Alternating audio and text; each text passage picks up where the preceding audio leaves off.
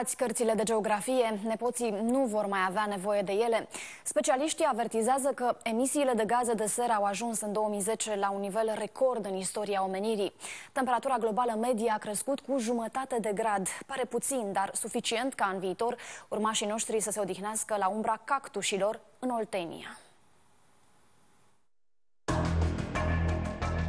Dacă emisiile de gaze de seră nu se diminuează, în 2100 Oltenia va fi deșert, Bărăganul va fi traversat de tornade, iar litoralul va dispărea complet, iar tot ce știm despre anotimpuri și temperaturi nu va mai fi valabil. Ne va fi din ce în ce mai greu să ținem pasul cu schimbările și să ne adaptăm, atât noi cât și alte specii, la modificările climatice.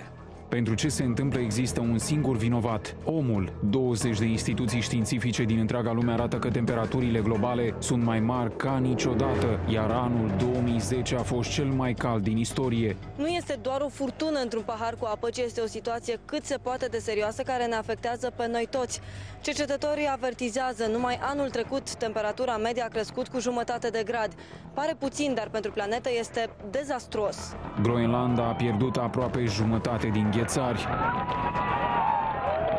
Rezultatul final este creșterea nivelului oceanelor și încetinirea curentului South Stream, un dezastru planetar pe scurt. Dacă vom continua să poluăm în acest ritm, temperatura globală va crește cu mai mult de 4 grade Celsius până în 2100. Soluțiile sunt la dispoziția noastră sub forma uh, tehnologiilor, uh, de exemplu uh, energiile alternative. Guvernele lumii se vor întâlni în curând la Bonn pentru o nouă rundă de negocieri în vederea reducerii emisiilor de CO2, însă oamenii de știință nu se așteaptă la progres progressa é significativa.